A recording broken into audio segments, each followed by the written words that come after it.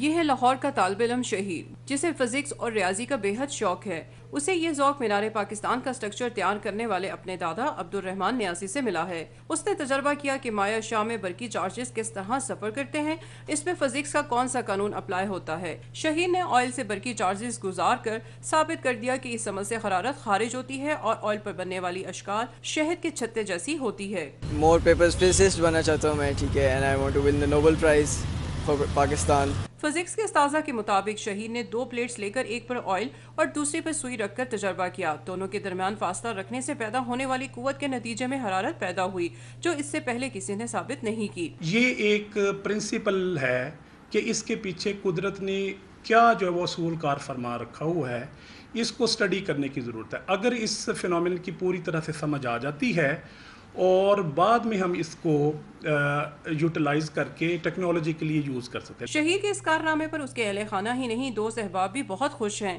اس کو میں بچپن سے بھی بہت شوق تھا۔ میں اس میں پہلے بھی بتایا تھا کہ مجھے ان چیزوں میں بہت انٹرسٹ ہے اور مجھے بہت انتھوزیازم شو کرتے ہیں ان چیزوں میں۔ شہید کا کہنا ہے کہ وہ مستقبل میں نئی ریسرچ کر کے اپنے ملک کے نام کو چار چاند لگانا چاہتا ہے۔ کیمرہ مین خواجہ عامر کے ساتھ تمہیں فروا جیو نیوز لاہور۔